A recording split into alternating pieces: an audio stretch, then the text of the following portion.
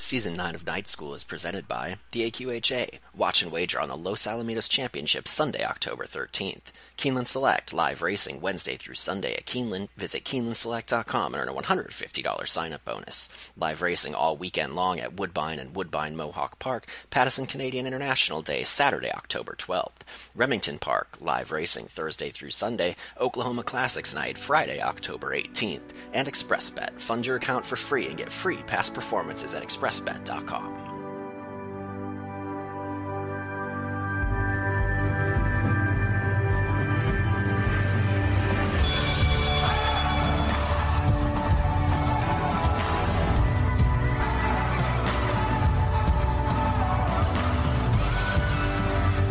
Just like people, horses have off days, and by looking at them before they actually get on the racetrack, you get an initial impression of which way they're leaning.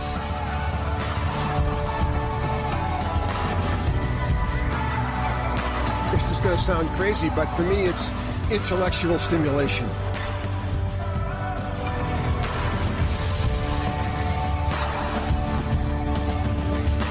Class is now in session. It's time for night school. Here are your hosts. Welcome in, Night Schoolers, Season 9 of the National Online Fan Education Program. I'm Jeremy Plonk from Horse Player Now. Tonight, we go on a trip, many trips, as we talk trip handicapping with Brian W. Spencer, GM of Horse Player Now. Brian, what a long, strange trip it is to be a handicapper, but when it comes to trip handicapping, it's at least a place where your opinion can be way different than everybody else's, the eye and the beholder.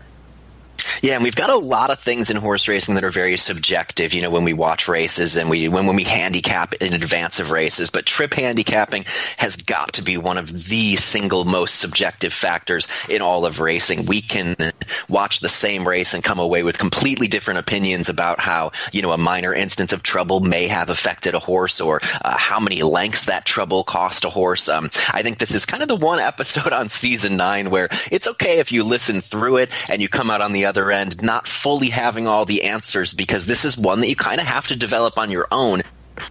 But what we want to do here tonight is basically give some examples of some trips, the kind of things you can start to look for, and uh, then hopefully you can kind of build your own ability to watch the races and look for the kind of trouble that works for you go to our YouTube page, youtube.com slash horseplayer now. Several videos on trip handicapping, which will go along great with this podcast as we talk you through it is wonderful.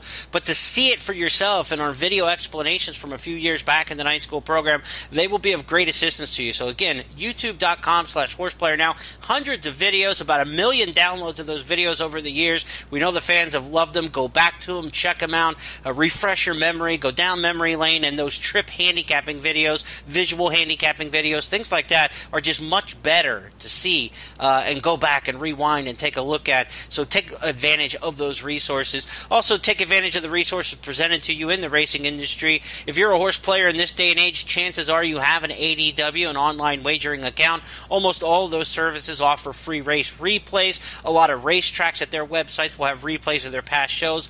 YouTube pages for racetracks also have them. If you play California Racing, calracing.com has replays available for the Southern California, Northern California racetrack. So there are plenty of resources out there where you can get race replays and get into this trip handicapping. Brian, when it comes to trip handicapping, are there particular things that are signal points for you that send you to looking at race replays, or are you simply looking at race replays in every race that you handicap?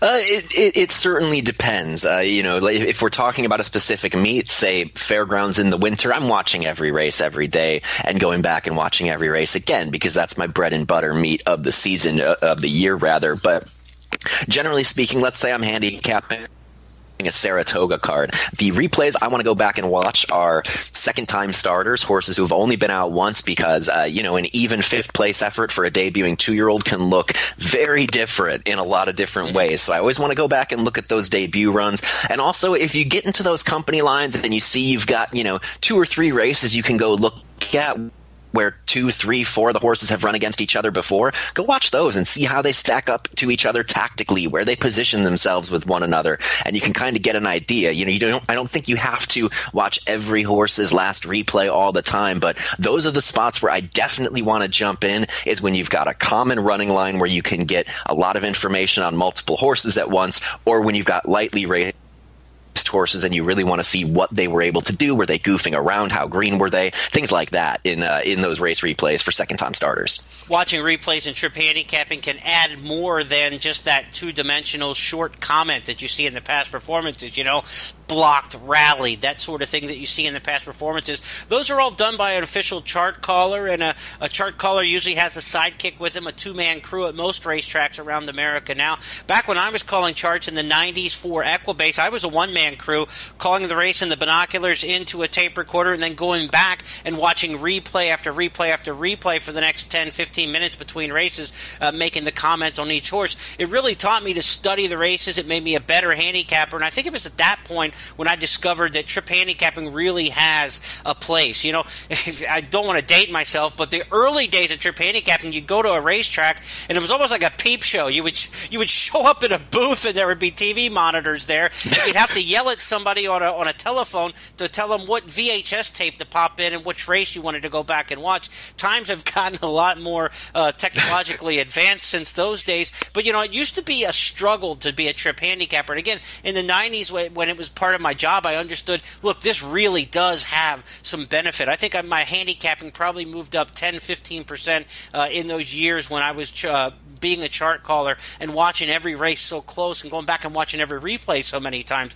But I know this: I could only give you two or three words on the short comment, and that doesn't always summarize exactly what happened in a race. It can also set up some red flags for people where a trouble line is there, and everyone just looks at the trouble line and says, you know, blocked, nowhere to go, and and and they just well, well, if this horse had somewhere to go, he would have won the race. That's not the assumption you should make. When you see a trouble line in the past performances, you should go back and look at those. That's a good time. Brian talked about common opponents, you know, horses running back against each other. Good time. Second time starter. Good time to watch the replays. But anytime there's a trouble line, go see it for yourself and determine how much that trouble really cost the horse. Did it cost him a placing? Did it cost him a couple lengths? Did it cost him victory in the race? That's what you really want to go back and not make an assumption just based on the trouble comment. Another thing about chart callers, I'll give you a little inside scoop on this, and I know this to be fact. If a horse was one of the favorites in the race and got into some trouble, you're going to see that in the comment line. If a horse was 15, 20 to 1 and got into some trouble, a lot of times that is omitted from the com- uh, comment line. There are a lot of chart callers in the country that think that their comments are really affecting the way people look at the race and, and making assumptions. That blocked in the stretch means that horse would have won had he not been blocked in the stretch. If they think that 15 or 20 to 1 shot wasn't any good to start with, they won't put the comment in there. You might just see no impact or something along those lines. So if you go back and watch race replays for yourself, I promise you, you are going to find a lot more trouble for long shot horses that was never recorded as part of the short comment. That's a way where you can get yourself a huge price. When you see some inexplicable horses who ran sixth last time, beating eight lengths at 18 to 1 with no visible excuse in the running line, go back and watch the video, and if you see a visible excuse in the running line, that's how you get that horse back at 30 to 1 today, and maybe they run a good second, a good third for your exactas or try, or maybe even upset and win the race. But again, horses who are favored, who get in the slightest bit of trouble, you're going to see a comment line for it almost every single time. It's one of my pet peeves, and I loathe it, but I know for a fact that it happens, and something that you got to keep an eye on in trip handicapping. Brian, so when you go and you look at these videos and you're going back and you're making making notes on horses. What are the types of bad trips that you're looking to bet back next time? Well, you know, and touching on too those short comment lines, I think uh, it, it's to me it, it, it's sort of a pet peeve, but it can be kind of your best friend or your worst enemy. You know, if if you're watching, if you're putting in the work and you're watching race replays and doing your own trip notes, if a chart caller sees the same thing you do, then boom, everybody else gets to see it too. But if you can find a trip note, some trouble of some sort that a chart caller did not see, and as Jeremy mentioned, a lot of times that's going to be on a price horse. That's the one you put in your pocket because people don't get that information for free in their past performances. They've got to do the work themselves. So uh, those company lines can be, uh, you know, in, important, but also, like you said, go back and watch the replays. How many times do you see something that says, you know, blocked quarter pole to eighth pole, and you go back and you look, and the horse is just one paced, you know, just wasn't actually in trouble, things like that. But a couple of the main trips i think um, because i'm looking to find those hidden trips. I'm looking to find the trips that aren't going to show up in those comment lines. One of my favorite ones is uh, you know looking how horses feel. Are they looking comfortable? You can i know you can look at the fractions and you can say oh they went 23 and 2 on the front end but if the horse wasn't doing it easily that could be a very quick pace for the horse. It could be a pressured pace rather than quick on the clock. So I think uh, those are the kind of things you can see if a horse is looking happy, if a horse is moving smoothly. Uh, horses who I know this is one of your big ones too. We talked about it before. The break slow, rush up, and fade trip. So mm-hmm. great when they break clean the next time out. That's one of my favorite ones too. But uh, generally speaking, uh, kind of looking for the visuals of how horses are doing. It's not always as easy as just oh he got blocked, oh he checked. It's more those hidden sort of nuanced trips that I think are the ones that I'm after these days. Yeah, and watch head movement, and and that's a major part when Brian talks about how is a horse traveling, and are they comfortable or are they stressed? Head movement. You want that head to be nice and steady and and into the bit, but not side to side and moving and fighting and and giving the jockey something to work at. Uh, that's certainly a visual point you want to look at in these trips. One of the things as a chart caller I really noticed was the impact of the first turn on two turn turn race. Horses who lose ground on the first turn lose it with absolutely no benefit. It is just strictly ground loss, and they have to run faster to overcome that. Ground loss on the second turn, wide on the second turn could be a good thing because this is where everybody in the race is, is fading on the front end, and you could get blocked in behind horses, and you could get stuck behind a tired horse. Being wide on the second turn can be good just to keep your momentum. Yes, you had to run a little farther, but you went uninhibited, and you had good solid momentum around the second turn. There is nothing beneficial at all about going wide wide on the first turn. It is strictly ground loss. It's like track and field. You're going you're going to hit the backstretch further behind the horses who were on the inside. It's just geometry. And so horses who lose ground on the first turn, you rarely see it marked in the past performances. Most of your trip notes will tell you that they were wide, six wide at the top of the stretch, six wide quarter pole, whatever. But on the first turn, that's the problem spot. So look for horses who were wide on the first turn and then maybe were a little flat in the stretch. Now they draw a better post position this time around. Uh, horses who are doing the dirty work are horses I like to bet back. The dirty work, I say, is a horse who's sitting second or third who has to make the first move into a speed horse. Some horses out on a loose lead, and somebody's got to go get them to try to quicken the pace up, or else they know they're just going to be chasing a carousel around the racetrack. That horse who does the dirty work rarely wins the race. He sets it up for somebody else. But if the race shape sets up differently the next time around, he's not behind just a single speed horse. That's a horse whose last race you can just draw a line through. And if the previous races match up with today's field, you've got a great excuse to toss out a horse who had to do all the dirty work. That first run into a lone speed horse, again, is a really bad situation to be in. And another place that I think is really bad for horses to be in is racing between horses throughout. If you see horses three wide across the track, the one in the middle of those two rarely ever runs the best race. That is a stressful position for the horses to be in, and between horses throughout, those horses rarely run their best race. Again, Bet them back the next time. They'll probably run better. And again, to get that same trip again is not likely the way this race might set up today as it did the last time. But one thing with horses who tend to get in trouble, Brian, they tend to repeat themselves to get in trouble because they're not fast enough to get in and out of spots. One problem I think trip handicappers make is a horse had a bad trip, so I'm going to give him an excuse and act like this will never happen again. If you've seen a horse get into trouble two or three times in the last eight races on their past performances, it's probably because they don't have gear gears and they can't get in and out of bad spots. So repeat trouble horses tend to just keep finding it. Yeah, and I think that that's something. I mean, you know, horses who who are not fast enough to be near the front, uh, you know, or just as you said, to kind of accelerate in and out of spots, get into that trouble and another uh, sort of move that I've really been looking for over the, and it's really kind of worked great for me over the course of quite a few years is uh, in cheap horses. Now, Andy Serling would probably disagree with me uh, because he says there are no trips in slow races, and generally speaking, uh, I agree. You know, you can't make something out of right nothing, but that's I mean, all of us are, but fair enough. But yeah, one of my favorite, absolute favorite angles to take a trip note on is a lightly raced horse. You know, doesn't have to be first time starter, second time starter. We can be four or five races into the career, but a young, cheap horse who makes a middle move in a maiden claiming race. A lot of times that's kind of the first sign of a light bulb going on. As a horse who hasn't done much, then they finally make that menacing move around the three eighths to the three sixteenths and then they flatten out. A lot of times, that is the hint that they're going to sustain that run in the next start or two. That has worked really well for me in those cheap Louisiana bred races at fairgrounds, and I think it's a fairly effective strategy too. Uh, if you're trying to get an idea that a horse lightly raced, maybe not very talented, is finally starting to put it all together. Time for us to take a timeout on night school. When we come back, Caton Bredar will join us. But before then, we go to the night school vault with John Doyle, winner of the DRF NTRA National Handicapping Championship and curator of the OptixEQ Trip Handicapping Service. John will talk trips in between, and then comes Kate. We'll be right back.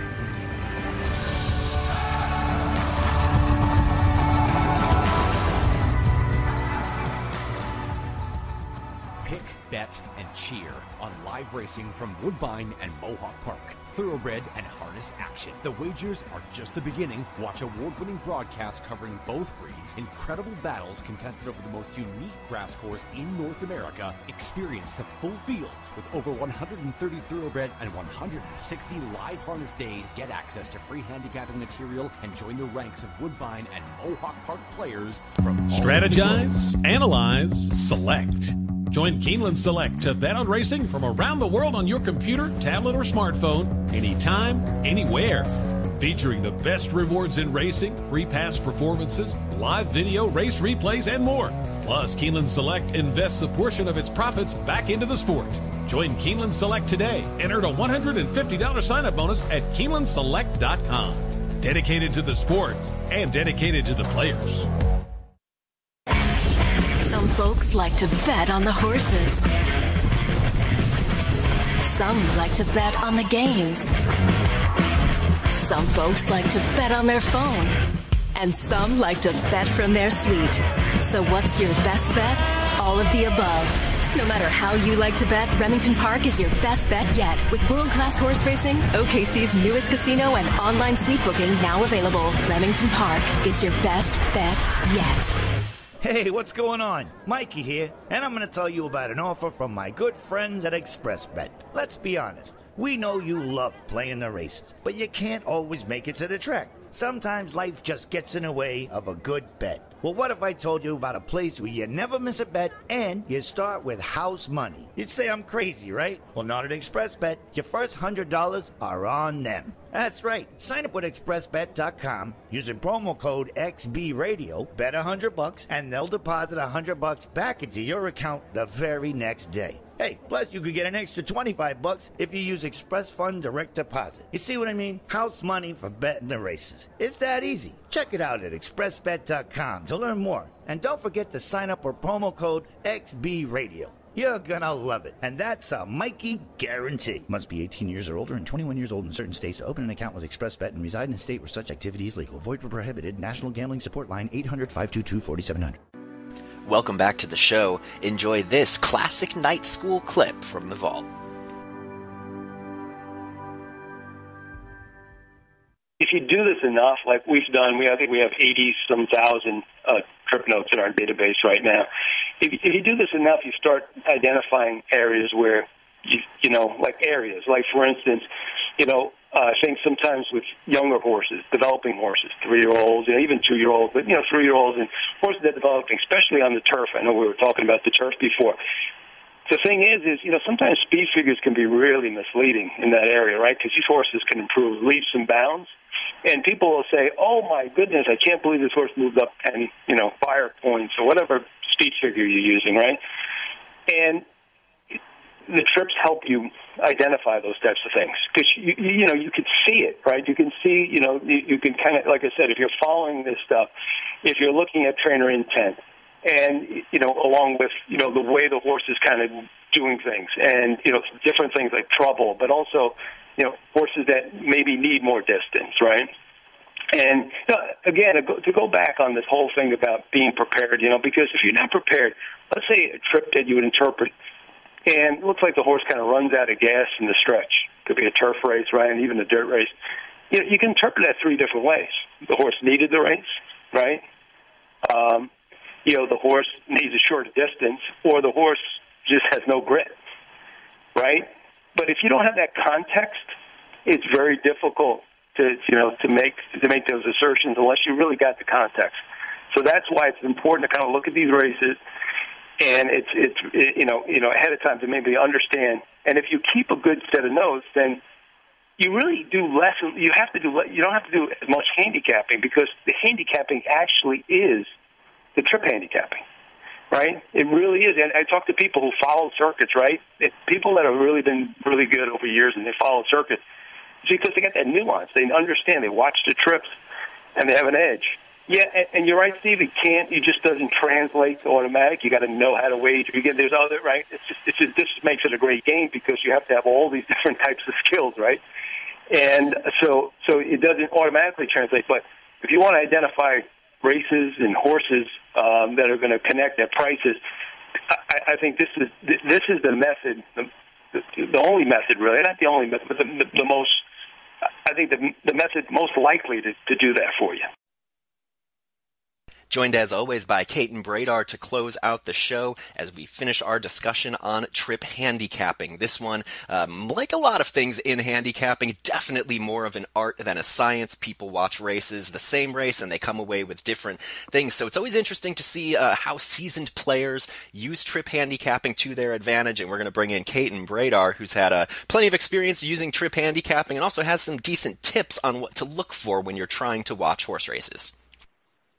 We, you know, Brian, this is, I really do think this is the one thing that everybody can get better at and can make or break your handicapping. And it's, um, it is more art than science. But what's important in trip handicapping is watching all the circumstances that are contributing to or are happening over the course of the race that may or may not have contributed to the outcome and and that's the key and i mean sometimes you'll see a horse's momentum stopped but if if it really didn't happen in a critical part of the race, or if the horse didn't really have the talent or the ability, um, then it doesn't even matter, right? So I think that the mistake people can make constantly is um, or a very easy one to make, which is the minute you see trouble, assuming that that made the difference between winning and losing for the horse. Um, the other thing, and this is something that I, I kind of picked up in, in Doug, my husband, working with Florent Geroux and getting to have some conversations with him about trip and race flow. And, and kind of what I should be watching for when I'm watching horses run is Florent Geroux said that the, you know, the ease with which a horse, at the point at which a horse has an opportunity to relax is critical. That no horse or very few horses can, can run all out or can, if they're cranked up, if they're rank in the early stages of the race, even if they have a perfect trip or even if the times are great. If the horse isn't able to relax and catch their breath at some point during the race, then it, it's going to cost him at the finish. And you know that. So I'm watching to see how relaxed a horse is, or is there an opportunity or a moment when the horse gets to shut off just a little bit so that they can get a second win, quite literally, to have something left for the finish. And the horses that you know, sometimes maybe because of trip, maybe because horses had them boxed in, um, that aren't able to get that, but maybe with different circumstances, a different rider, a different distance, um, a different venue, those horses may be great opportunities to play the next time they run and I, you know, I, so I'm always watching as much as I'm watching a trip, I'm watching to see how the horse is handling the trip or what they're doing in the course of the race. great example of this was Mr. Money in the Pennsylvania Derby, um, who was a horse I liked a lot. But if, if you watched, he, bro- he broke sharply. He had been training very aggressively and more on the muscle. So the big question was, um, you know, for me at least, if he was going to ever have that opportunity to relax in the race. And he was able to make the lead and set very slow fractions, which most people, when they watched him get beat at the finish, said, well, it was wrong. He didn't have an excuse because the times were so slow. He was crawling on the front. He should have had more than enough left at the finish. But I didn't feel good from the even without looking at the clock, from the very beginning of the race because he he dragged Gabe Saez out of the gate. His head was up in the air. He was wrestling with the bit in his mouth. He wasn't comfortable going into the first turn, and he really didn't settle until down the back stretch. And even when he did settle, at that point, to me, it was too late. Um, he was he was always kind of up on the bridle and and anxious, almost waiting for the horses to come at him, versus a horse who was able to settle in the early part of the race, kind of catch their breath. And I thought even if he had run a little bit faster, pace wasn't the thing that cost him. It was in terms of his ability to turn it off at some point. I think that's what really cost him the race at the very end of it. And maybe there were some other factors that contributed to him getting beat, but at the end of the day, the most important thing to me was was was he settled? Did he get to catch his breath? And you know that to me is as big a part of trip handicapping as the actual trip itself, what part of the racetrack, and whether they were um, stopped at any point.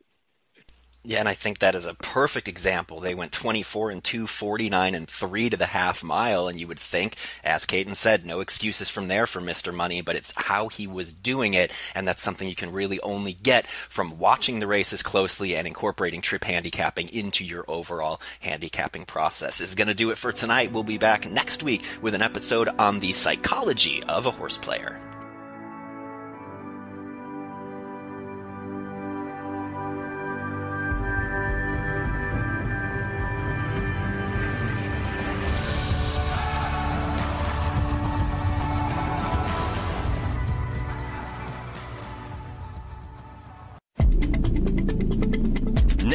On FAQ 60. Trip handicapping. The shortest distance between two points is a straight line, and American quarter horse handicappers know it's the fastest way to get there. When races are decided by hundredths or thousandths of a second, trip handicapping is magnified so much more than when playing thoroughbreds. Here are the keys to trip handicapping. 1. The start. You want your horse's head straight, looking down the track. 2. You need a clean exit from the gate. 3. Maintain a straight path. Don't waste energy and time drifting in or out. And 4. Your horse needs to outrun rivals to avoid trouble. Speed is what you need to avoid others. Head on replays are critical tools in your pursuit of finding trip handicapping gems. This FAQ 60 is brought to you by AQHA Racing and Horse Player Now. Enjoy tonight's episode? Check out hundreds of past archives at horseplayernow.com.